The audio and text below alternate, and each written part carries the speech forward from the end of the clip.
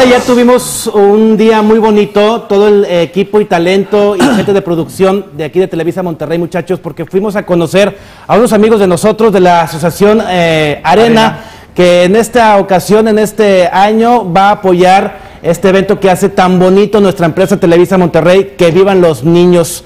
2014, conocer a estos ángeles y a sus papás que son unos guerreros, niños con eh, autismo, que la verdad nos dieron un recorrido y conocimos la labor tan importante que hace esta asociación y los maestros para enseñarle a los niños la educación y poder integrarlos a, a la sociedad. Michelle, tuvimos un día maravilloso, una tarde muy bonita conociendo estos pequeños gigantes maravillosos. Exactamente. Y realmente eh, nos, nos robaron el corazón. Sí. Realmente quiero mandar una felicitación muy, muy eh, grande a todo el patronato de esas mujeres que hacen posible esto que ya es una realidad palpable, a los padres de familia, como dices tú, Charles. Y bueno, es un compromiso que la sociedad tenemos con, con estos niños, con esta gente que, por desgracia, es un tema que muchos desconocen, al menos yo desconocía, y hoy por hoy lo queremos hacer ya más transparente. Escuchemos.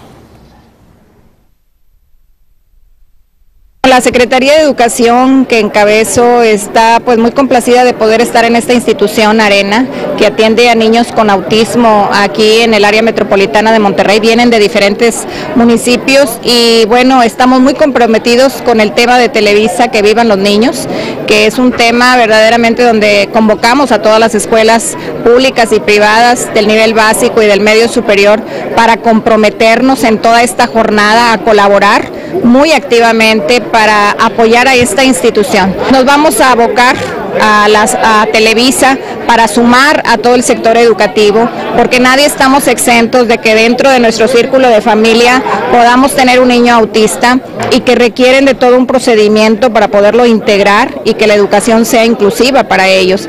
Y es por eso que esta institución, que ya tiene cerca de 15 años de estar atendiendo el tema, pues ha des- desarrollado este, técnicas y métodos específicos para su tratamiento. Arena tiene 15 años de fundada y 10 años, Qué padre. 10 años como centro de enseñanza a los niños y el 29 de abril que vivan, los niños, Eso. apoyando a Arena, por supuesto. Claro que sí. Excelente, excelente.